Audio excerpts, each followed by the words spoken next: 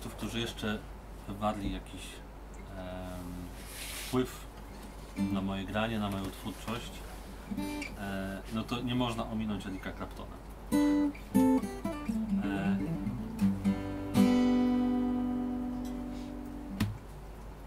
jeden z moich ulubionych jego utworów, Wonderful Tonight.